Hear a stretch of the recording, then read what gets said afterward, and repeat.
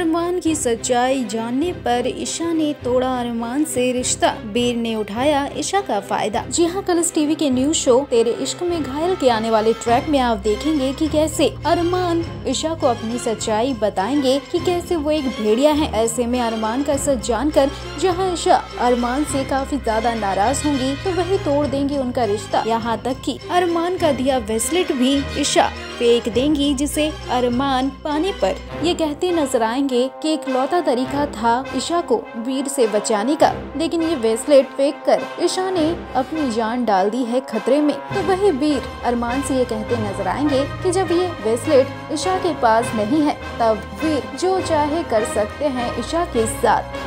जिससे वीर ईशा के करीब आने की कोशिश करेंगे वेल अब ये देखना बाकी बेहद इंटरेस्टिंग होगा कि क्या अरमान से नाराज़ होने के बाद ईशा वीर से करेंगी दोस्ती। टेलीविज़न से जुड़ी इसी तरह की लेटेस्ट अपडेट एंड गॉसिप के लिए बेल आइकन को प्रेस करें। देखते रहिए हमारे चैनल को और इस वीडियो को लाइक शेयर और चैनल को सब्सक्राइब करना बिल्कुल ना भूलें।